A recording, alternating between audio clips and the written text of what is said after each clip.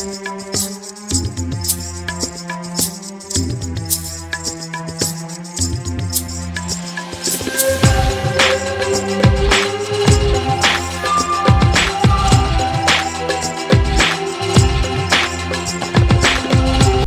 तरह की होती है एलर्जी, जाने इसके कारण, लक्षण और उपचार। आपने जीवन काल में लगभग हर व्यक्ति कभी न कभी एलर्जी की समस्या से ग्रस्त होता है। एलर्जी तब उत्पन्न होती है जब शरीर किसी पदार्थ के प्रति प्रतिक्रिया व्यक्त करता है। लापरवाही बरतने पर एलर्जी मामूली से कठिन समस्या बन सकती है।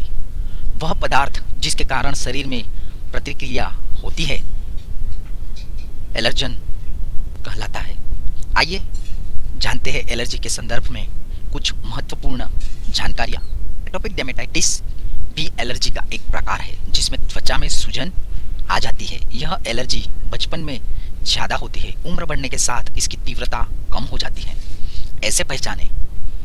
इस मर्ज के लक्षणों में दर्द, खुजली, छाले पड़ना, छाले फूटकर पानी निकलना, जलन होना, मुँह के कोनों का कटना बार बार त्वचा का संक्रमण आदि समस्याएँ उत्पन्न हो सकती हैं। प्रमुख कारण।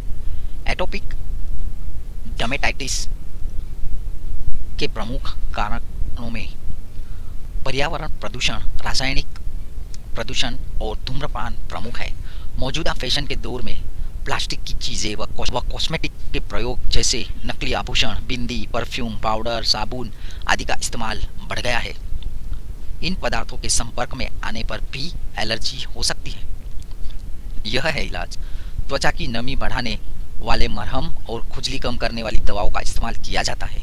एलर्जी से होने वाले संक्रमण के इलाज के लिए एंटीबायोटिक्स का भी इस्तेमाल किया जा सकता है। नाक की एलर्जी। एलर्जी का साइनाइटिस या नाक की एलर्जी विशेष रूप से पराग कणों के कारण मौसम बदलने के दौरान होती है। इससे नाक के वायु मार्ग में सूजन आ जाती है और छींके, नाक में खुजली व पानी और नाक बंद हो जाना जैसे लक्षण प्रकट होते हैं। एलर्जी की वजह से साइनस में सूजन आ जाती है, जिसे हम साइनोसाइटिस कहते हैं। बच्चों में एलर्जी की परेशानी यदि लंबे समय तक बनी रहती है तो कान बहना, नाक बहना, कम सुनना, बहरापन जैसी परेशानियाँ भी हो सकती है। हमारे शरीर की संरचना के हिसाब से नाक, कान और गला आपस में किसी न किसी माध्यम से जुड़े होते हैं। इसीलिए इसमें से किसी में भी संक्रमण होने या सूजन आने पर सभी पर असर होता है। दमा। दमा यह मर्ज भी अधिकतर एलर्जी के कारण होता है। दमा में व्यक्ति की सांस की नलियाँ ब्रोनकाई पैदाइशी रूप से अति संवेदनशील होती है। एलर्जी के तत्वों के संपर्क में आने पर इसमें सूजन व सिकुड़न आ जाती है, जिससे व्यक्ति की सांस फूलने लगती है। वायु प्रदूषण, धूल, धुआँ, गर्दा, सीलन व परागकण एलर्जी उत्पन्न होने के प्रमुख कारण है, जो दमा, अस्थमा को बढ़ावा देते हैं। दमा रोगियों के प्रमुख लक्षण, छींक या खांसी आना, सांस फूलना, सीने में दर्द और गले से एक असामान्य आवाज़ आना दमा के प्रमुख लक्षण हैं।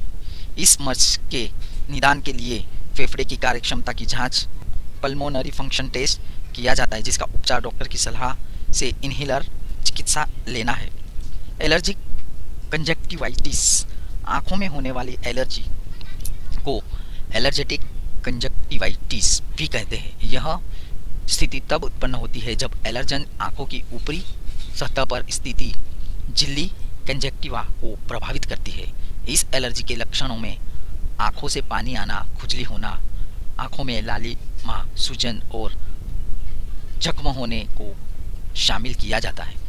दवाओं से एलर्जी दवाओं से एलर्जी बहुत व्यापक है, पर यह हर व्यक्ति के शरीर पर इसके अलग अलग असर देखने को मिल सकते हैं। किसी व्यक्ति के शरीर पर चकते और खुजली हो सकती है, वहीं हो सकता है दूसरे को कोई दिक्कत ना हो। दवाओं के प्रति एलर्जी ज़्यादा देखी जाती है, जैसे एंटीबायोटिक्स और पेन किलर्स आदि के इस्तेमाल करने पर। खाद्य एलर्जी। इस तरह की एलर्जी में हमारा प्रतिरक्षा तंत्र इम्यून सिस्टम भोजन में शामिल किसी खास प्रोटीन के प्रति अति संवेदनशीलता प्रकट करता है। ऐसे खाने की थोड़ी सी मात्रा लेने से एलर्जी के लक्षण प्रकट होने लगते हैं।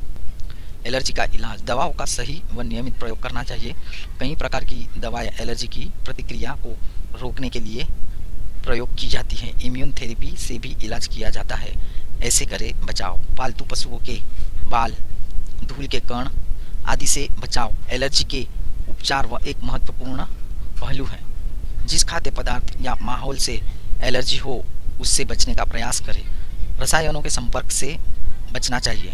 ऐसे खाद्य पदार्थ जिससे शरीर में एलर्जी होती है उससे बचना चाहिए।